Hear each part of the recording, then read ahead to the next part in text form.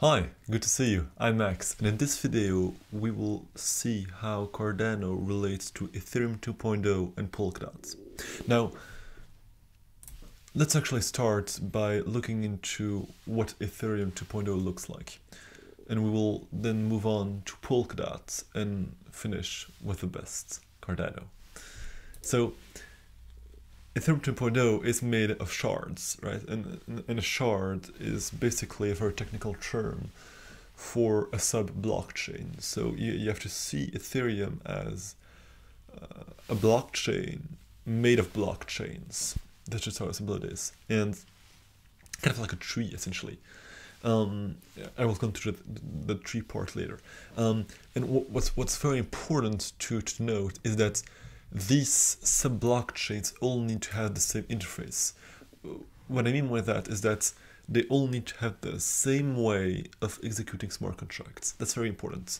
Um, and all these shards, so all these sub-blockchains communicate with the main sub-blockchain, which is the beacon chain. Um, and so you, you kind of have, have to see it as, you know, a tree or uh, as a uh, as a set of, of buckets, right? And you place all these buckets, and then you have one bucket in the middle, which is the beacon chain, and then all these other buckets or containers communicate with the beacon chain, um, with, with the main bucket in the, in the middle. That's that's basically how Ethereum 2.0 looks like, um, and so they, they, they, they will also use side chains to interact with other types of networks, uh, for example, Bitcoin, which isn't proof of stake. Well, uh, they will use side chains to be able to interact with that, so not shards. And there's no on-chain uh, governance plan at the moment, so they want to continue uh, doing it off-chain through, you know, discussions on GitHub and, all that. Um, and finally, the chain is account-based. Uh, what that means is that you know you have one wallet with a, the private key and public key which represents your accounts in a certain way, uh, kind of like a bank. That's it, a bank. Uh, th that's the way you have to see uh, an account-based system. It's like a bank account, and you can send and receive money, and your bank account will still be there. Um, now, if we need to move on, uh, let, us move on to, to, to Polkadot. So, Polkadot is made of parachains, which essentially is a very uh, um, marketing-ish term uh, for essentially shards. It's, it's, it's, nearly the exact same thing actually, it's just that the Polkadot guys are very good at marketing while the Ethereum developers haven't put much effort into it. Um, but so parachains are essentially shards, so it's the same structure uh, more or less, of course, there are some differences, but more or less it's the same structure as Ethereum 2.0. However, you can have a different execution interface. So unlike Ethereum 2.0, where all the shards have the same way of executing, or actually need to have the same way of executing smart contracts, in Polkadot, you can have different ways of executing smart contracts. So there is more flexibility, if I may say it like that. Um, like with Ethereum, um, the all of the parachains uh, communicate with one main chain, uh, which is called the uh, relay chain. Um, there are, however, no side chains, so they have some sort of uh, bridge chains, which they call bridge parachains, which essentially offer um, two-way uh, compatibility. So, you know, uh, if you were to create a parachain between Polkadot and Bitcoin, you could be able to send um, uh, some type of uh, wrapped Bitcoin from Polkadot to the Bitcoin chain, and then Bitcoin from the Bitcoin chain to Polkadot. So it's a, a, a two-way bridge essentially.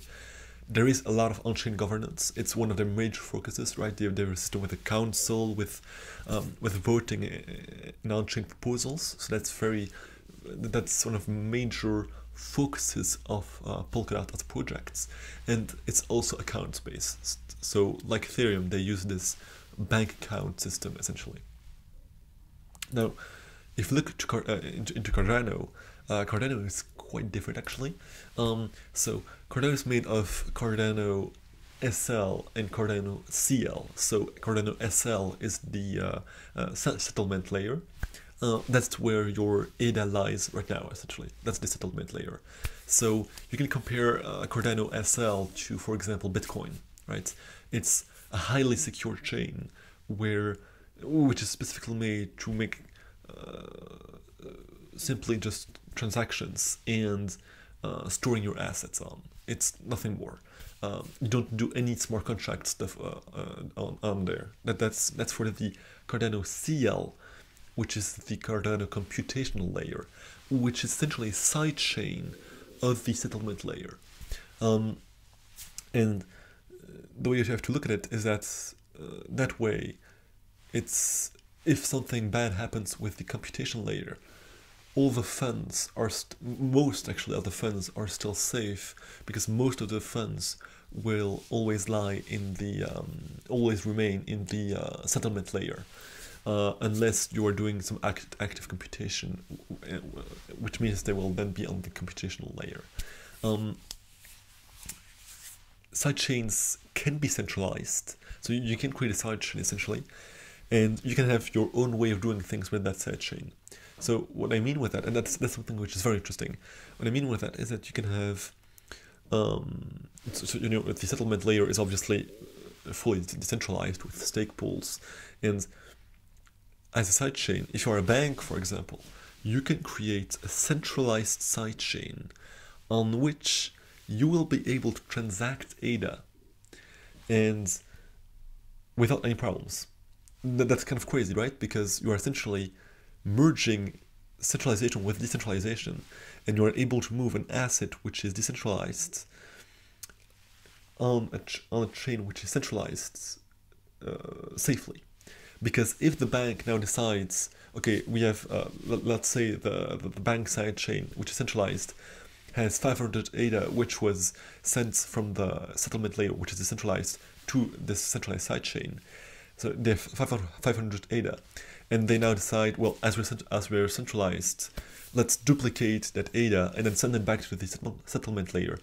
That will not work. They will only be able to, uh, to send back 500 ADA because um, the main chain is essentially firewall protected.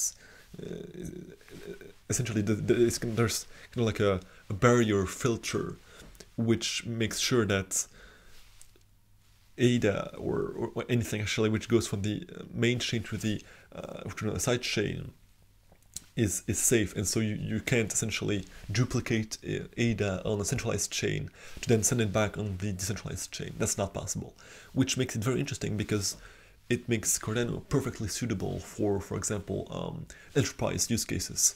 Um, additionally, the sidechain also has sharding capabilities. So uh, like Ethereum 2.0 or like uh, Polkadot, if there is a need for it, Cardano could, um, it, it would be possible to create sidechains in order to offload the activity on, on the main chain and in order to, uh, to, to, scale essentially Cardano. Um, there's also uh, there will also be a lot of on-chain governance, you know, with Voltaire, uh, with voting, with on-chain proposals, um, and all that kind of stuff. There are right now also obviously, uh, as you may know, uh, experiments happening with uh, Project Catalysts.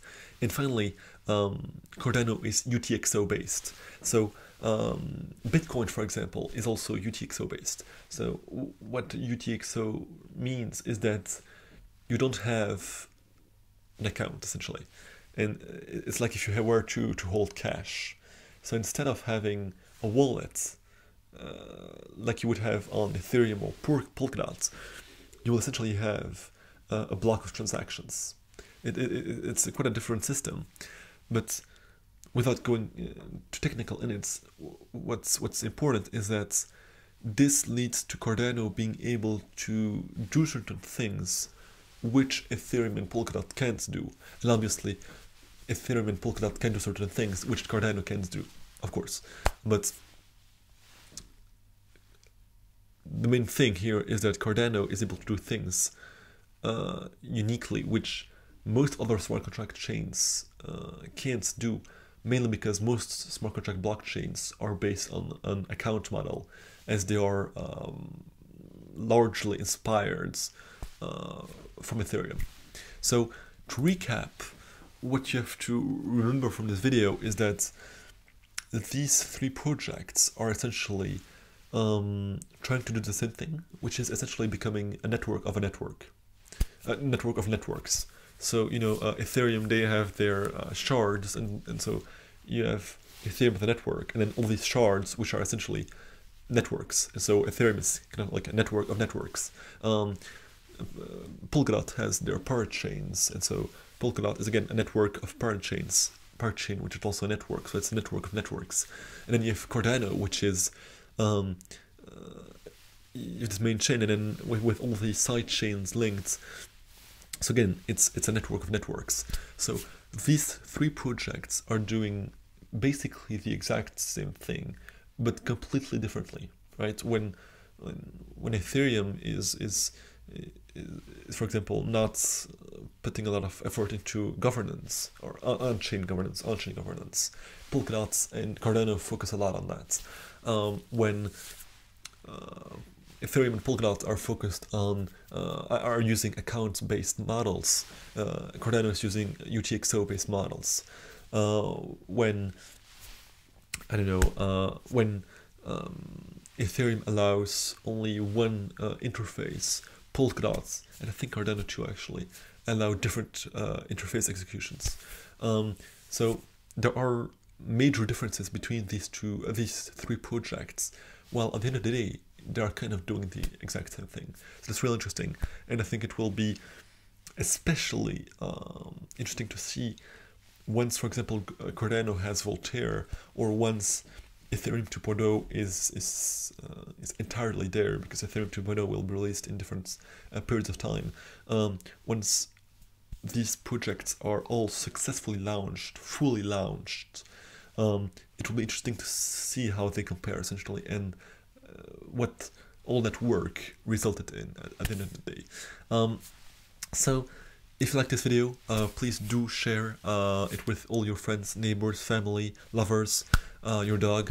Uh, please do like it, follow, comment, and uh, please don't hesitate to um, uh, visit our website, poapool.com, and follow us on Twitter at poapool.